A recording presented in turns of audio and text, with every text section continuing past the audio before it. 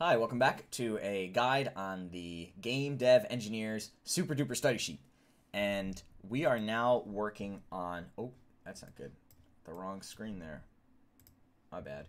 So here we are, DFS and BFS traversal. So that's depth first search, breadth first search, and the algorithms are really similar. So I wrote them down in this really simple way in order for you to see the relationship between the two. Uh, the process is like this. You have some sort of data structure, Okay, so in this case, that's the stack.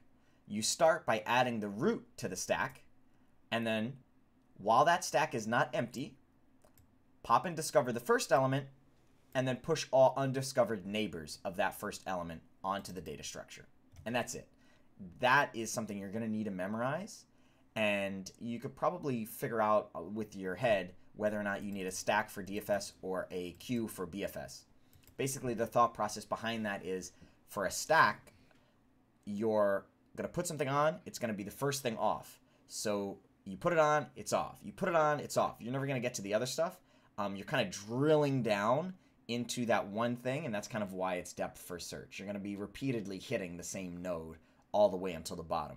Whereas with the queue, uh, you put it on, and then that's going to be the last guy. So you're going to have to handle everybody else, and so it's going to be a while before you get to him, and that's why you know the it, the algorithm goes wide when the other one goes deep.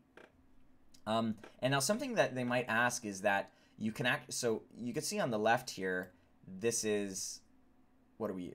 You know, this is this is just a um, a while loop here, but you could also do it recursively. Um, and if you do it recursively, you don't need a stack at all. Basically, if it's recursively, you could just use the system stack, like the, the physical, you know, you have heap memory, you have the stack. You could just use the system stack to do DFS. So, so that, that sometimes comes up as well. Um, okay, so with binary tree traversal, it's actually even simpler. You don't need to worry about this idea of um, discovering elements because a binary tree is acyclic. So any, you, you know, they're, they're all going in one direction. They're all going down, and there's no two-directional. Uh, there's nothing like that happening, right? And so what that means is when you pop and discover the first element, um, all of its children are going to be undiscovered by, by nature of a tree, right? So you pop something, it's got a left and a right. You haven't seen those before, guaranteed, because it's the first time that you're, you're reaching that node. So by virtue of that, you don't have to worry about discoverability at all, whereas you would with a grid or some other graph structure.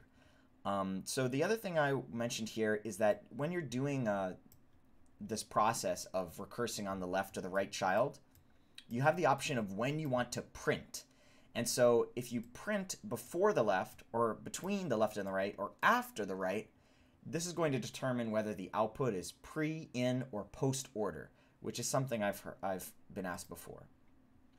Then there's this one interview question where they ask for a level order traversal.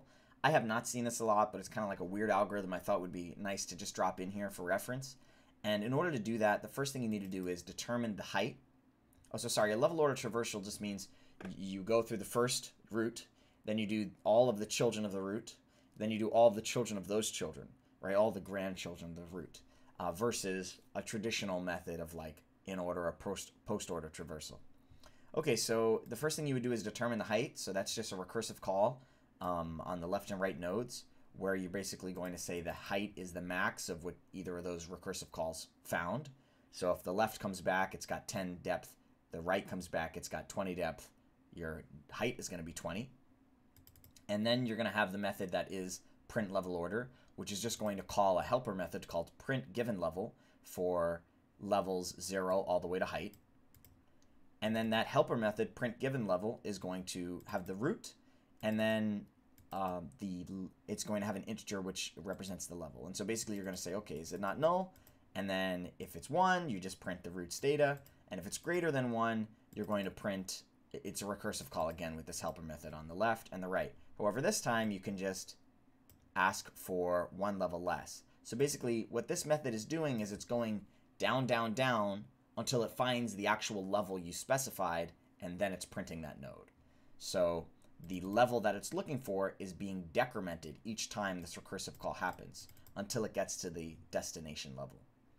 Okay, and finally, I wanted to mention Dijkstra here Oh, all right, Windows 10. Oh my God, Windows 10. What a what a wonderful process. Okay, so Dijkstra here, this is a pathfinding algorithm. That's a little bit different, right? It's, it's not search uh, per, per, se. Um, and so what you're going to be doing, it's particularly useful for um, when you have a movement cost across your edges. And so that process is actually um, pretty simple. And the way that that goes is you're going to label each node with its distance from the start node.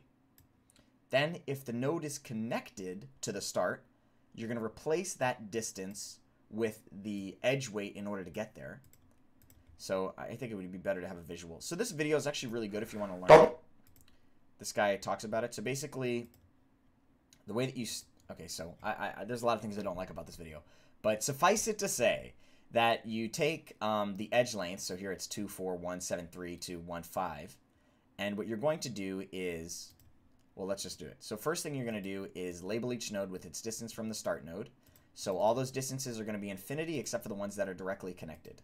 So let's see, where is he going to write that? So here you see infinity, infinity, infinity, but since these two are directly connected to the start node, they're going to be 2 and 4 respectively.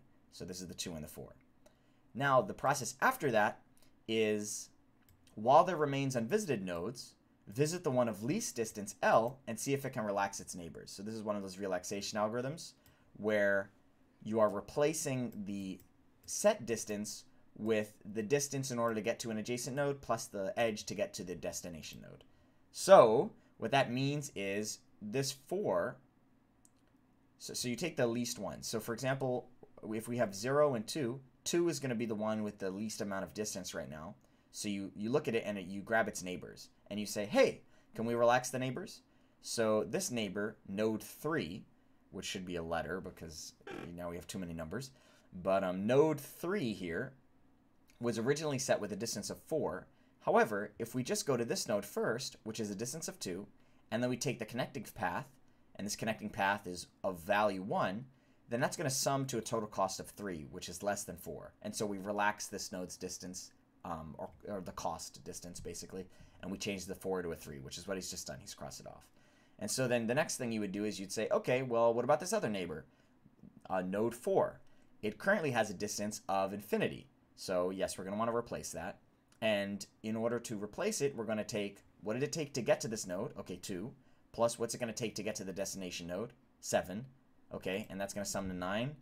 And so then he's going to replace the infinity with 9. So that's the process. That's Dijkstra, in case you needed a super quick refresher. And if you need a longer refresher, this video is half an hour, so you could go watch it.